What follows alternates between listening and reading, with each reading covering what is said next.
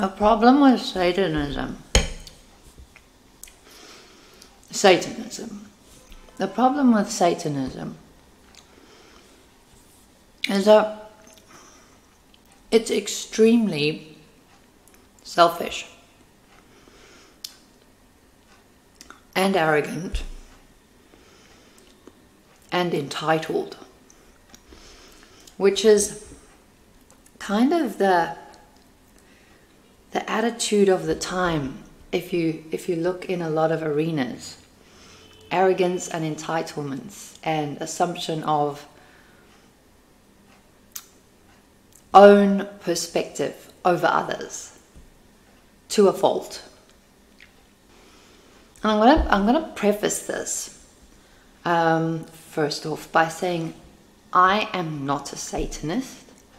I'm not a wiccan I'm not I'm not Christian, I'm not atheist.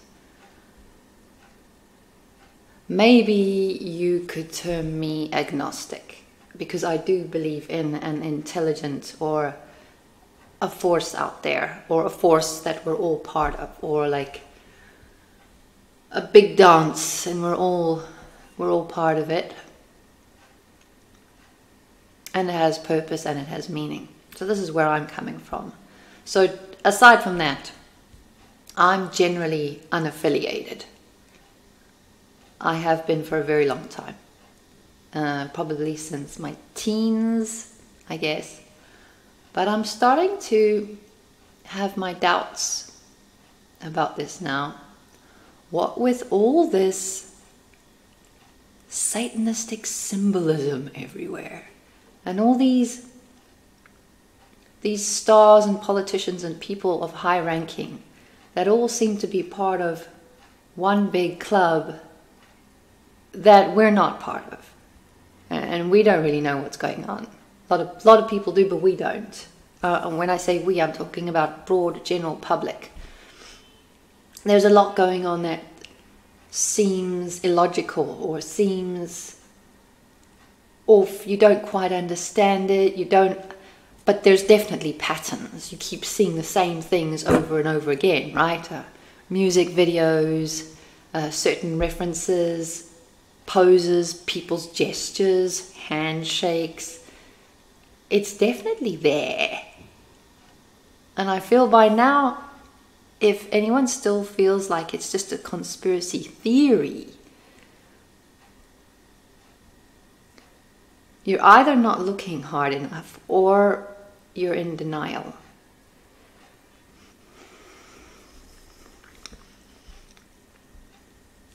So, me being a single mum and working full time, I don't have a lot of time, or mm, I don't have a lot of time to sit and research about things extensively but I have definitely been following things over the years.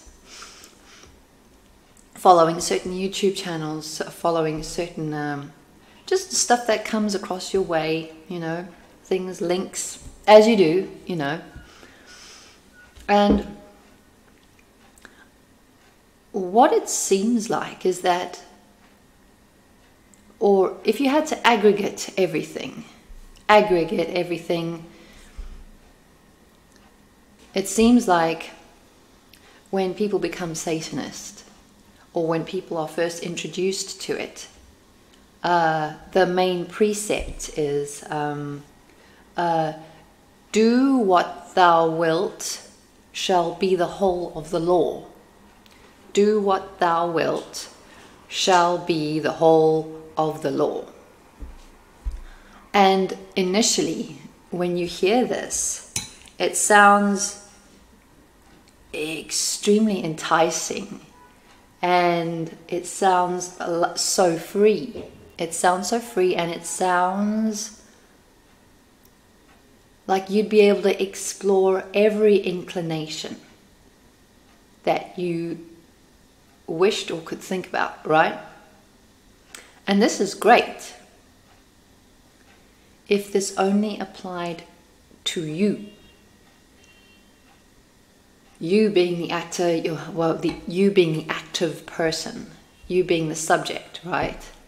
So let's just say you felt like um, doing what thou wilt would be uh, is is the whole of the law. So basically, I can do whatever I want, and that is the law. I can do whatever I want, and that is the law. This is fantastic. I could I could I don't need to work anymore. I could just take what I need from people. I could just take what I need from wherever. If I had, uh, I don't know, um, if a person had a certain sexual proclivity towards another person, they could just go ahead and do it. You know, I, a, guy, a guy sees a girl that he, he fancies, he'd be like, oh, she's all right. I'd like to have a go. He can have a go. He can go right ahead and have a go right there, right? Because that's the law. It's okay. He can do whatever he wants. And this is all well and fine and good as long as it's just you, right? But you have to consider that this is also true for everybody else around you. everybody else. Imagine if everybody, everybody, nobody exempted, could just go ahead and do whatever it was they wanted. It would be bedlam. It would be chaos. And then it would probably turn into something like the movie The Purge, where where people have to lock themselves inside their houses to be safe from other people. And think what this would mean for little kids or people who were smaller and weaker. What would this mean for people who were smaller and weaker what would this mean for little kids and babies? Them being the objects.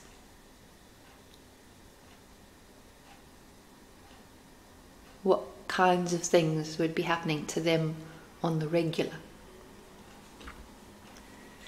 We've got to be careful here.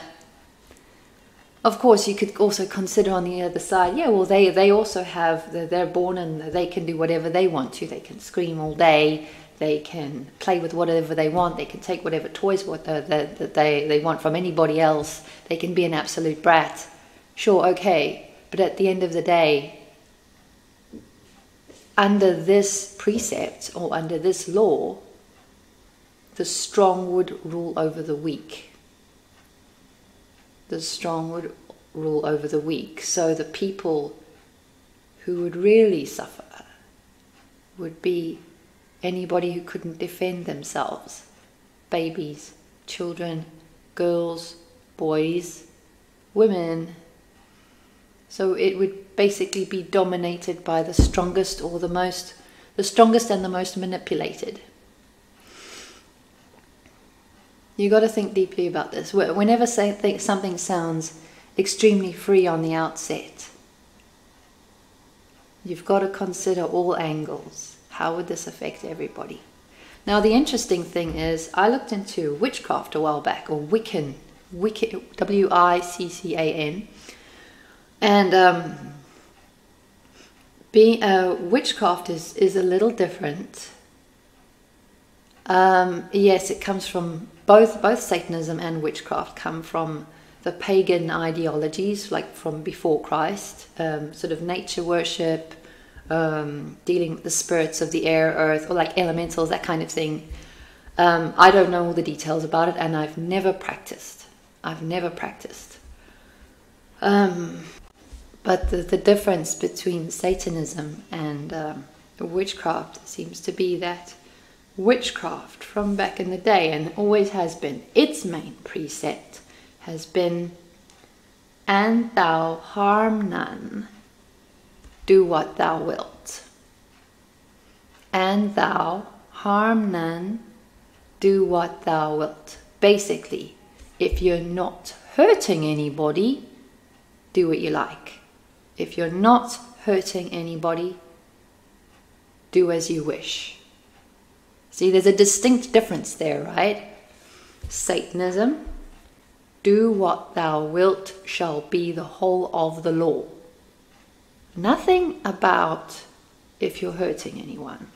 Nothing about if you're blocking somebody off from what their own free will is to is is turning them towards. You know? But the Wiccan one or the witchcraft one or the old pagan one was uh, and thou harm none as long as you're not hurting anyone. Do what thou wilt, do as you wish. There's a huge difference there, immense. And I don't know if people are focusing on this main part here. Because the two different precepts, if those were followed out into the world, into real world repercussions, you'd have two completely different worlds going on. This one would be chaos and bedlam, and um, torture and basically trauma for anyone who couldn't defend themselves, right? And on this side, you'd have a lot of creativity or people doing venturing out, a lot of adventuring, a lot of adventuresome stuff going on, quite a lot of creativity, but people still with a sharp eye out for not hurting anyone. And it doesn't just say humans, and thou harm none, and thou harm none. It doesn't say, and thou harm other people, uh, or and thou harm no other people. It doesn't say that, it says none. So this would mean all creatures. I don't know if this would exactly uh, go right down to like being a Jain. You know, Jains don't even want to tread on a little creature. They walk around and they're so careful that they don't even tread on. I don't know if it would go that far or because how can you control? Um, uh, I don't know if, if this would go as far as Jainism. I mean, Jainism is extremely considerate of all life forms, right? But in this this particular witch one, this pagan belief, and thou harm none, do what thou wilt. It's when it says none, it's it's saying everything with life. Everything with life. So that means humans, animals, humans and animals, plants, but then we eat plants. Would that be harming them? Ugh. Anyway, but the basics of it is the pagan witchcraft one says as long as you're not hurting anyone, you can do what you like. The Satanist, the Satanist one says um, do what do whatever you like, and that's it. Just do whatever you like, and that's it, with no repercussions. And I don't know. I mean, there's a lot of research and a lot of amazing and in-depth videos and, and uh, documentation coming out recently where people are nailing down and showing um, how all their the exact uh, ramifications of, of Satanism and what goes along in it. And I'm not going to go into the details about it because I think anyone with an internet connection could probably find that out for themselves. There's a load on YouTube. It's it, it's it's not hidden. Basically, you can find out about it if you want to. I'm not going to go into the details, but essentially what it boils down to is with Satanism, it's all it looks very sexy. It's a it's a very sexy time kind of religion. It's all it's very sex based. Um, there's a lot of androgyny, a lot of you know gay, you know gay bum action, sodomy, and that kind of thing. And that's not restricted to ages. Um, you know that's the, I think the main angle is to, to sodomize as young as possible because apparently that's a, a gateway. It's a gate. It's a gateway to other dimensions, etc. A la Spider-Man universe kind of thing.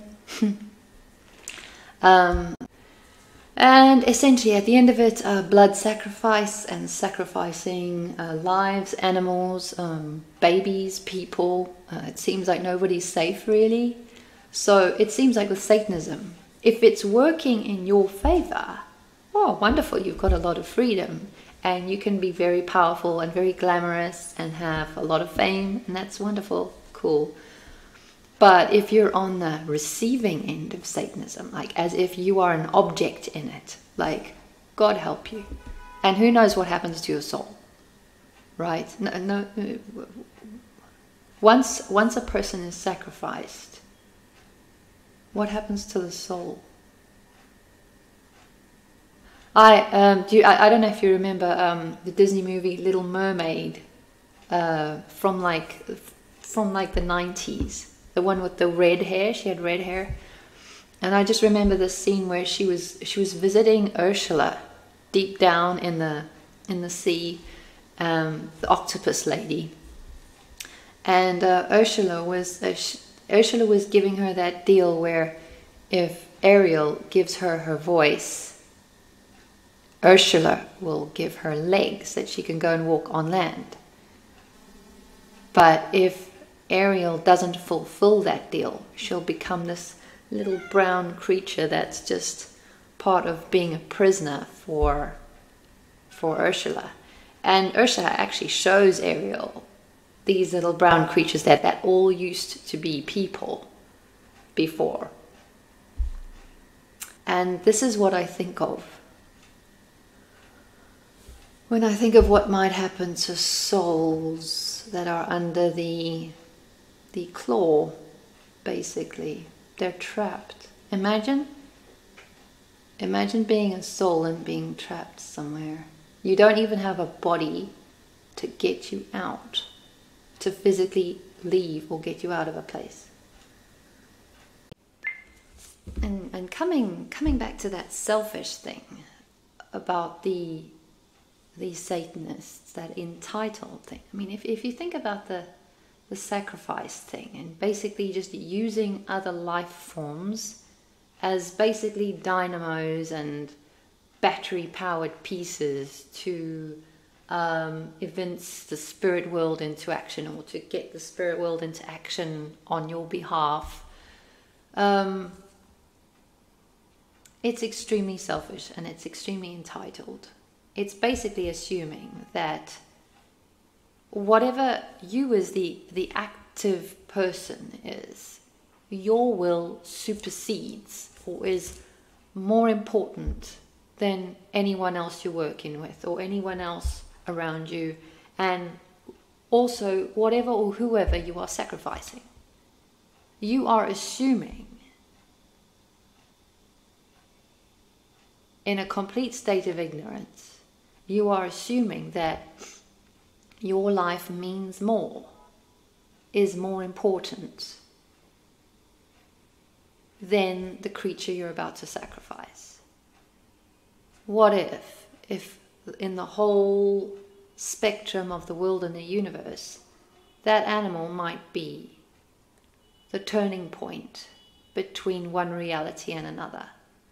The actions of that animal or that person that you're about to sacrifice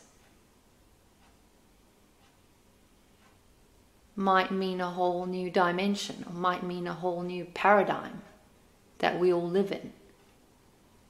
But because you want a certain, you want something like power, fame, you want a certain action to happen in the world, you're just going, oh, this thing is just a battery pack for me, and I'm going to use it to power up something then that's going to get this thing done for me. That's what it is. It's the assumption that you're more important than this thing that you're about to slice open and offer up. Where do they get this from? Where do they, the, the presumptuousness, the pure entitled presumptuousness that they're so sure that their life has more meaning than anybody else. That's the mind blowing part. Where do they get their info from? Where do they get their confidence from? I, I, I, don't know all the exact mechanics of it, as you can probably tell, but what I what I am doing is I'm giving you a general glossed overview of everything that I've come across over the last, I don't know, at least 10 years. Hmm. Another interesting thing about witchcraft is that um, they have the, the, the, rule of three, the threefold rule. Now, you uh, often in Satanism you'll see that the number of the beast, the six six six. This is not related to that. The the threefold rule, the three rule. It's a very old one, and you don't hear it these days. You don't hear it in common, like for all the symbolism and everything that's going on on modern music videos and in TV shows and that kind of thing. Um, this rule of three, I don't hear it anywhere. And it relates to reincarnation too, I think. The rule of three states that whatever you visit on, unto others will be revisited back on you threefold. Whatever you visit or whatever you put onto others will be revisited or put back onto you threefold at some point. Probably, maybe not immediately, maybe sometime in the future, maybe it's going to happen this life, maybe it's going to happen the next life, who knows. Um, I am into the, I do believe in reincarnation. Um, yeah.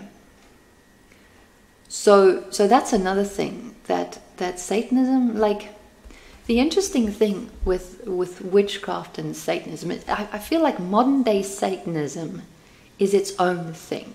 Like the pagan beliefs of before had a whole bunch of stuff, a whole bunch of stuff that that people or uh, practitioners would refer to. But I feel like modern day Satanism is very distilled and it's missing out key parts of what the old paganism was into or what was what they believed because satanism has taken uh, pagan witchcraft and taken that do what thou wilt right it's just taken that thing it has not said anything about not hurting anybody or not hurting anything. Satanism hasn't done that. It's only taken the part about do what you like. Do what you like, and then after that, and, and don't think about it. Do what you like and forget about it. It's all cool. That's what Satanists done, or Satanism, modern day Satanism has done. It's taken that and it's left out the other part. Modern day Satanism also does not talk about the rule of three, which is um, the three three times just think of it like three times whatever you put out there into the universe you will get back three times later so this could actually i mean this this could actually really help people thinking about if you're going through something in your life and you don't know why you do you keep experiencing the same kind of thing over and over again it might and and you don't know why there's no like a um, logical reason why. Maybe if you look back into your past and maybe it, it was even before this life, maybe, you know, maybe it's merited. Maybe what you're going through is just a revisiting or a karma hitting back threefold because of what you did before. I've been carefully considering like my life at the moment. I feel like for what I am for what I've been experiencing in this life, just um, dating, I feel like I must have been a real cad in the last one or in a life before. I feel like I was probably a dick to women before because my dating life, oh man, you don't want to know the details, but like if I had to think about what I keep experiencing and then if I'm experiencing something now that keeps being consistent, either yeah, I don't know, either I'm doing the wrong thing or or I'm really meant to be going through this It could be quite funny if you think about it. Imagine a TV show, show that, that, that, that worked with this. It'd be so funny. That'd be a really good TV show, wouldn't it? A little bit like Quantum Leap, but like in one life, you were doing this thing and you were a bad person here because you were taking advantage of these people. Ah, live a long life, get rich, get powerful, okay, die. And then the TV show shows that same person being born into a totally different body in a different country and then experiencing the repercussions of what they did in that last one. It'd be quite good, right? What a TV show. Maybe we are a TV show. Maybe we are. Maybe we're a show for someone or something out there. And it's all based on karmic repercussions. yeah, anyway, so that is. Uh, that's the thing with uh, Satanism. That's the problem with Satanism. It's it's really it's it's very selfish. It's very entitled. It's very arrogant. And it doesn't think of its repercussions. Doesn't take responsibility. And doesn't deal with karma. Well, it it it welcomes a lot of intense karma upon a lot of people especially if those people don't read or don't aren't interested in finding out the details and the and the, and the longer history. Mm. Oh, I forgot. So, you know how I said I was unaffiliated, right? So after seeing all this like Satanistic symbolism and all these pop stars and you know actors with the like the uh and the and the uh and the, and the thing with the hand underneath the shirt like that those three gestures that like one-eyed man or like the throat cut thingy covering the throat and then this hand going under a shirt those three are like gestures within uh, masonic lodges and i think as we know if you do if you if you dig deep enough uh, masonry masonry on the whole looks very innocuous and kind of helpful, and it's all about social aid and churches and hospitals and helping people out. But then as you go up the degrees, it essentially turns into Satanism. if you get right at the top, you know, 33, meh, meh, meh, this is Satanism, basically. Anyway, so with all this Masonic stuff going on and, you know, the symbolism and everything, and it's right in your face it's got me thinking like they're really pushing the, the Lucifer thing. They're really, really pushing really hard, aren't they? Gosh, that's a lot of money going into that. That's a lot of push. It's a lot of clout. That's a lot of manipulation. It's a lot of set design. It's a lot of costume design. This is an enormous amount of work. It's an industry, right? Right, okay. So, if there's all this push to, to, to, to promote Satan or Lucifer, that means God's real.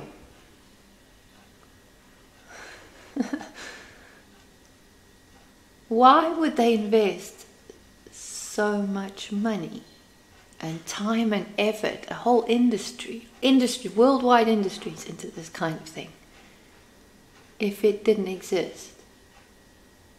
So this means, okay, Lucifer must exist in whatever capacity. All right, hi Lucifer, cool. Mm-hmm. Hi Satan, whatever. But if Satan exists, that means God exists. That means Jesus Christ probably existed too.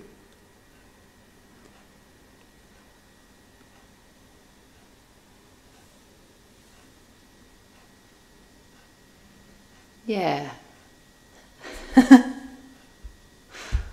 and and this is a funny place for me to be because for the longest time I haven't believed in Jesus Christ. Like when I was a kid, I was I was raised by my school and as as Christian. Not my not my parents, but I was raised generally Christian in my culture. And at a certain point, I was like, we never see this guy.